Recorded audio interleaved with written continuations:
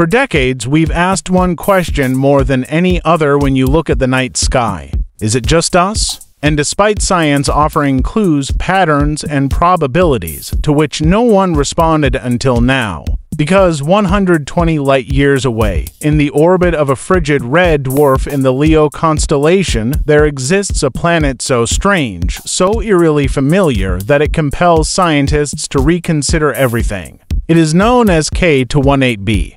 Furthermore, thanks to the James Webb Space Telescope, we may have just captured the most convincing evidence yet of alien life recorded atoms of carbon, water vapor, and dimethyl sulfide, a compound that on Earth only living things can make organisms. This isn't science fiction anymore. This is true.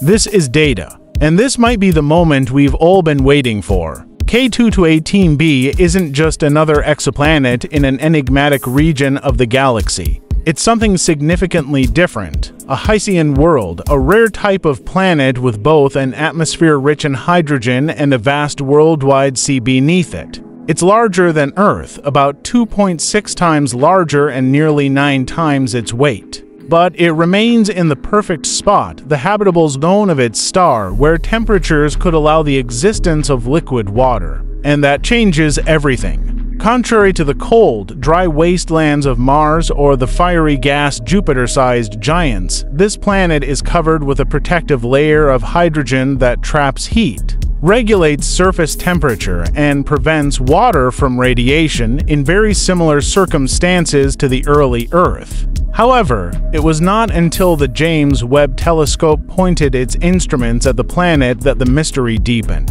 Webb thrives in its environment. It not only detected water vapor, but also carbon and methane are present dioxide, two crucial components in the formula for success. It already was astonishing, but the next thing was historic. In 2025, the James Webb's MIRI instrument returned readings that astonished the scientific community. Alongside water and carbon compounds, it discovered a trace signature of dimethyl sulfide, or DMS. Why is this significant? Because here on Earth, DMS is only produced by living organisms, particularly marine phytoplankton. It's a gas released into the atmosphere by minuscule organisms in the ocean, and we've never detected it previously on another planet. To make things even more shocking, scientists also found traces of dimethyl disulfide, or DMDS, another molecule connected to oceanic biological activity on Earth. The appearance of these molecules was not random. They appeared together in the same region on a planet already rich in water and carbon vapor chemistry. This is not a random statistical coincidence anymore. Cambridge astrophysicist Nikku Madhusudhan called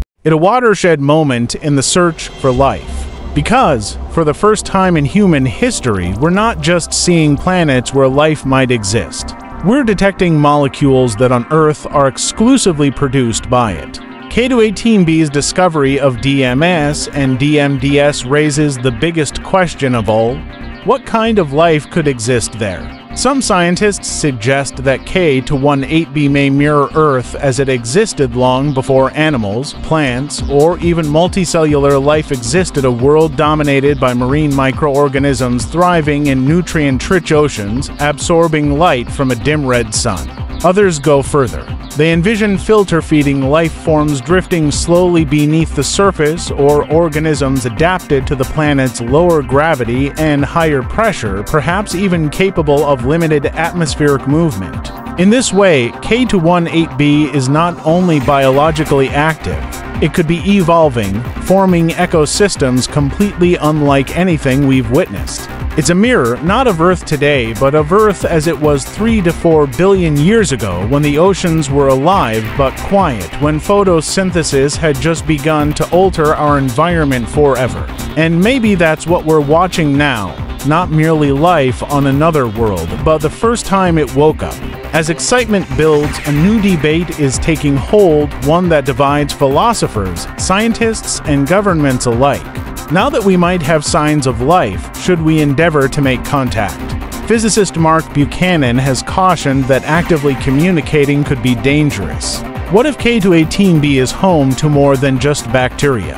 What if we tamper with a delicate biosphere or, worse, notify a civilization that we are not ready to face? Avi Loeb and others like him hold the contrary, that any advanced life would know we are here already. They'd have picked up on our signals, our satellites, our technology long ago. And if they haven't acted yet, maybe they never will. However, there's one certainty. A signal from Earth would take 120 years to reach K to 18b and 120 more to come back. Whatever we decide, we won't get a response in our lifetime. The question isn't just can we send a message, it's whether we should act on what we now know. The moment the data from James Webb became public, the world paused. News outlets published breaking news stories worldwide. The hashtags hashk to 18b and hashtag alien ocean erupted on social media. We are not alone. Scientists had live interviews on television during prime time. And for the first time in a long time, headlines didn't talk about conflict, politics, or scandal, but about a single question that united us all did we just find life? Academic institutions began emergency review panels. International space agencies, including NASA, ESA, and even private companies like Blue Origin and SpaceX, quietly accelerated plans for the next generation of probes and telescopes. There were rumors of upcoming missions, AI, and concepts for interstellar sails, capsules with powered messages. Meanwhile, classrooms were flooded with curious students who inquired about physics, biology, and space. K2-18b had done what few things ever have. It made us feel part of something bigger. However, despite the wonder, an unsettling thought was growing. If life exists, and if it isn't unique, what does that imply regarding us? Having discovered potential biosignatures on K2-18b, the age-old Fermi paradox returned with renewed vigor. If the universe is full of such planets, where is everybody? Researchers have discovered more than 5,500 exoplanets so far. Many of them are rough. There are dozens within their star's habitable zones. And now, K2-18b exhibits evidence of life, one terrifying hypothesis gains traction. The cosmos is not silent. We're just late? Perhaps other civilizations came and went before us. They might not have made it on their own discoveries. Maybe the transition from microbial life to intelligent life is more dangerous than we thought, a narrow bridge that few cross. Or perhaps there is life everywhere but chooses to remain silent. If K2 to 18b hosts microbial life today, that's one thing. However, if we find complex systems, biospheres, or even hints at patterns of intelligence, then silence is no longer a mystery. It's a message. And that message might be you're not the first. Even though you won't be the last, you must not speak too soon. K2-18b is teaching us more than just about the universe. It's forcing us to rewrite biology itself. Here on Earth, life depends on oxygen, carbon, nitrogen, and water. But the atmosphere on K2-18b is full of hydrogen, not oxygen. And that changes everything. Could organisms there breathe hydrogen? Is photosynthesis possible when the sun is red? Can evolution follow a path we've never imagined? Biochemists are now studying extremophiles, life forms on Earth that thrive in acid, radiation, and even vacuum. These organisms, once thought exceptions, may now serve as examples for how life can develop in other places. And that opens the door to an awful possibility we may have already encountered alien biology but did not acknowledge it. Rocks, signals, crystals, meteorites, and microstructures, what if there are no green indicators of life, glowing but not too much, coating beyond our current science's reach? K2 to 18 billion reminds us that life may not look like us. It may not think like us, but it's waiting out there. Before K2-18b, we looked into space with curiosity. After it, we look with responsibility. If there is life, then Earth is no longer the axis of biology. We are not the rare exception. We are a chapter rather than the entire story. Psychologists and philosophers are already warning of what they call the cosmic trauma, the shock of recognizing that we are not alone. Religions are re-evaluating their origin stories. World leaders are discussing the geopolitical impact of discovery. Additionally, educators are rushing to prepare the next generation for a world where Earth may be just one living sphere among billions. Some people are astonished, while others experience fear. No one is indifferent anymore. Since the James Webb Telescope examined the clouds of K2-18b, it didn't just see molecules. It noted a mirror of what we are, what we might become.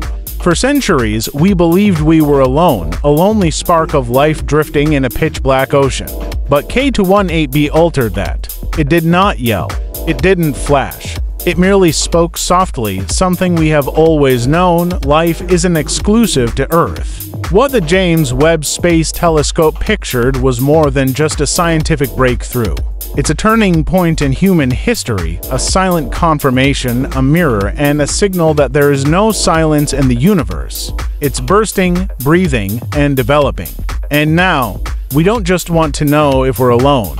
We're asking what else is out there, who else, when, and if they are looking back at us, wondering the same. This no longer concerns a faraway planet with strange chemistry. This is about us, concerning who we are, who we have been, and who we might turn into if we decide to listen. Because in the clouds of K2-18b, encased in hydrogen and time, we may have just discovered the solution we've been chasing since the beginning of time, not proof of aliens, but proof of possibility. Now it's your turn. Do you believe that we have only witnessed the initial definite indication of life beyond Earth, or is there more to come, even greater? Leave your thoughts in the comments. Subscribe for more cosmic developments that are altering our place in the universe. And remember, sometimes the universe doesn't yell. It waits and whispers back when you're ready.